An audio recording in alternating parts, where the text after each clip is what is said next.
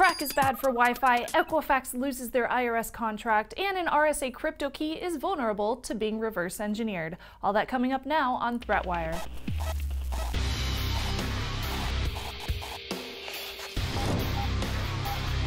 Greetings, I am Shannon Morse. This is ThreatWire for October 17, 2017, your summary of the threats to our security, privacy, and internet freedom. If you haven't checked out our Patreon yet, please do so. We have lots that we want to do for the show, but we can't do it without your support.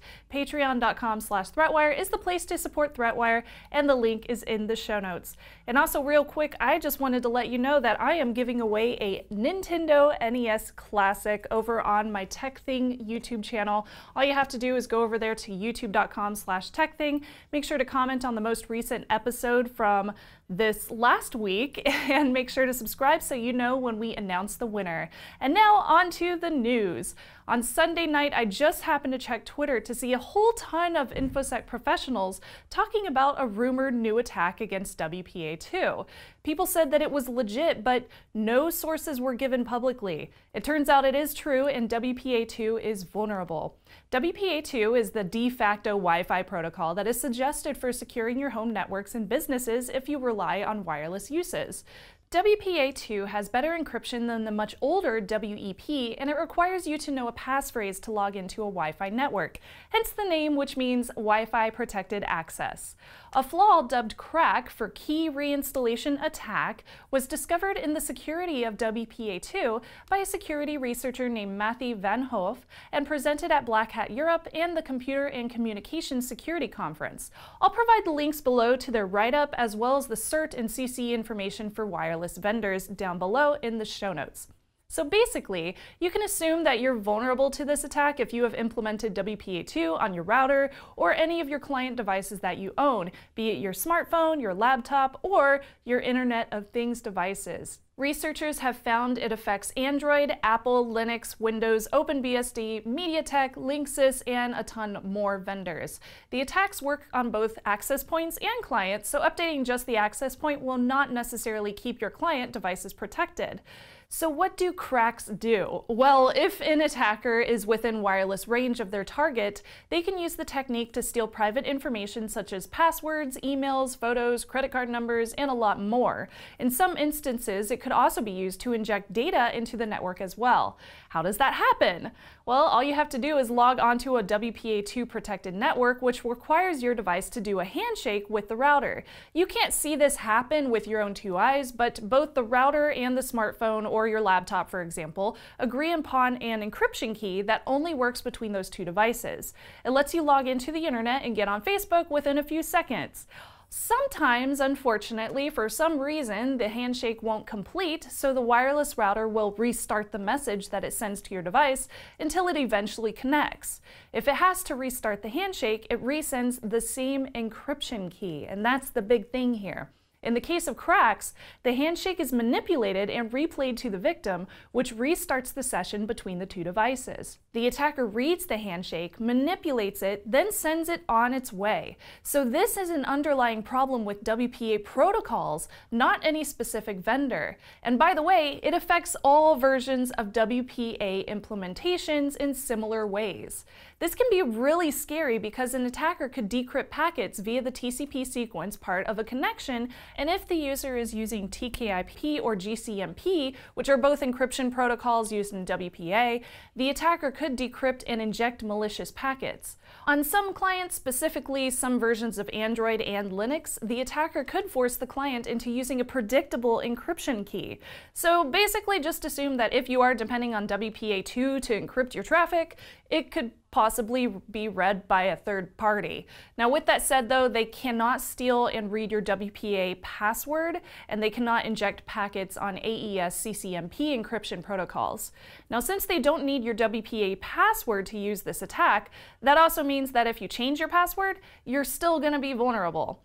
Now, luckily, once vendors start sending out updates, you will be patched and in the clear. Unfortunately, though, some devices may take months to receive a patch. Now, this is also scary because Internet of Things devices are prone to never receiving updates, if any, which means that they are going to be vulnerable for a very long time potentially, or vulnerable forever. Also, while you are probably already using something like HTTPS everywhere on your browser, and that's a really good thing, you should definitely keep doing that, if somebody was targeting your network, they could still create phishing sites on HTTP. Being incredibly mindful of your browsing and using HTTPS on sites is definitely crucial here. So what can you do? Use antivirus, obviously. Even something as simple as Windows Defender will help in case of an attack if the attacker actually targets you and installs something malicious.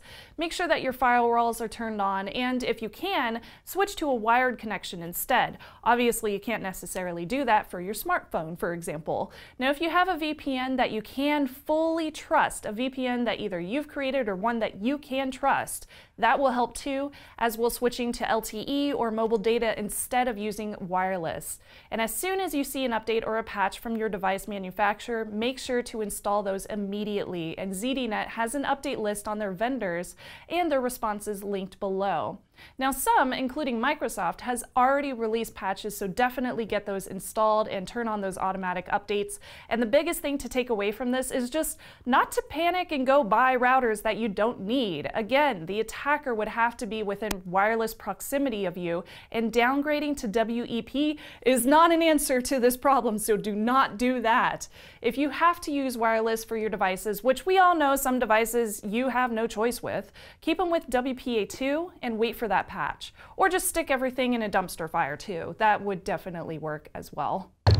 Big shout out to Eric, who shared this Equifax update on the Patreon community tab. If you are a patron, share your favorite security stories as well, and I'll shout out a few on the show. Last week, I followed up on the Equifax story with information detailing the contractual agreement Equifax had made with the IRS that would help verify taxpayer identities for the agency, the IRS. The IRS awarded Equifax the $7.2 million contract, which is quite a bit of money, but since then, the IRS has chosen to suspend suspend the contract instead and go into a crucial review of the company's systems and security. This news just happens to happen right on the heels of another Equifax security problem last week, where the Equifax website was redirecting visitors to an adware download of a malicious piece of software called Adware.Eorezo, which would show you unwanted ads while you browse the web. In this case, the redirection alerted users of a new Adobe Flash update, but it was actually adware targeting visitors. According to security researchers, this problem occurred because of a malvertising campaign campaign in which Equifax was hit due to third-party code running on their website. The code was serving up the malicious content. TransUnion was also affected and both companies have removed the code that was redirecting visitors. Now, it's not necessarily clear whether this malvertising campaign was the reason that the IRS suspended their contract, but given how the last few weeks have turned out for the credit reporting agency, it would not be surprising if this was one of the many reasons. And seriously, at this point, I feel like I should create a drinking game or a brand new show all about Equifax hacks. Special thanks to Corey for this story and for his own comments on it over on Patreon. First off, a couple of things that we need to understand before delving into this story that he posted. Number one, public key cryptography. It's widely used for encryption and to prove that a message indeed came from who it says it came from and did not get compromised during that transmission. So for example, when party one, like Darren, wants to send me an encrypted message, he would encrypt it with my public key and his private key, and then I would receive that that message and I would decrypt it with my private key. This encryption technique has been used for years to encrypt email, to encrypt logins, and even more. And the public key is just that, it's public. The private key is my secret, so nobody else is supposed to know that private key. And part two, some countries and companies around the world have used this encryption technique for national identity cards, for software signing, for trusted platform modules, or TPM for short, and a lot more different ways. The encryption passed rigorous tests with the National Institute of Standards and Technology and Common Criteria and is used for government identification in some places. It is trusted. Now, a flaw was discovered by researchers who are presenting their paper called The Return of Coppersmith's Attack Practical Factorization of Widely Used RSA Moduli in November during the ACM Conference on Computer and Communication Security, and the method for this flaw is not being released until after that presentation.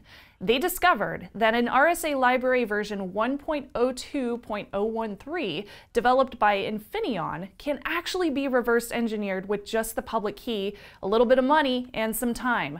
Worst case scenario is basically that a hacker uses Amazon Web Services $76 and 45 minutes for a 1024-bit key, or $40,300, sounds like a lot, and 17 days for a 2048-bit key.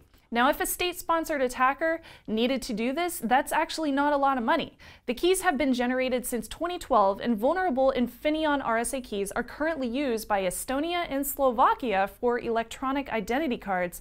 At least 10 different laptop vendors using Infineon TPMs, and at least 237 GitHub submissions, thousands of PGP keys used to encrypt email, and even at least 15 used in SCADA equipment. That means infrastructure and industrial equipment. It only affects smart cards or embedded devices using the Infineon library for RSA encryption. Now, companies that have implemented the Infineon key encryption have already started using public statements, including Yubico, who uses U2F authentication, which is unaffected. Others unaffected include OpenSSL RSA keys, PGP compliant programs, elliptic curve cryptography, and NARN RSA keys. On-chip RSA keys could be affected in consumer devices, so the researchers created a tool where you can simply copy and paste your public key to see if it's factorizable, and I have included the link to that in the show notes. If you do use a key that is vulnerable, replace it as soon as possible.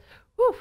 Thank you again to all of the fine people who contribute to patreon.com slash threatwire. You're the reason that we can keep on bringing you news every single week. We are on the way to our next goal, which allows me to upgrade some of our equipment, and I am so excited about that for this set, as well as open up a live video Q&A just for patrons each month, and it's each and every one of you patrons, so there's no limit. I have also updated our Patreon page with more details about costs associated with running Threatwire since I got a question about that previously. Of course, any little bit helps us grow the show, and in return, you get access to a bunch of extras on Patreon. We might even feature your adorable fur baby, like these brand new ones, in an upcoming episode. I love checking out all the fur babies. They're so cute. Check out the perk levels on Patreon. And thanks again for helping us keep this coming completely independent and ad free. And if you cannot donate, just hit that subscribe button. Share this show on your favorite social media and use that hashtag ThreatWire so that I can see it and I might even retweet you. And with that, I am Shannon Morse and I will see you on the internet.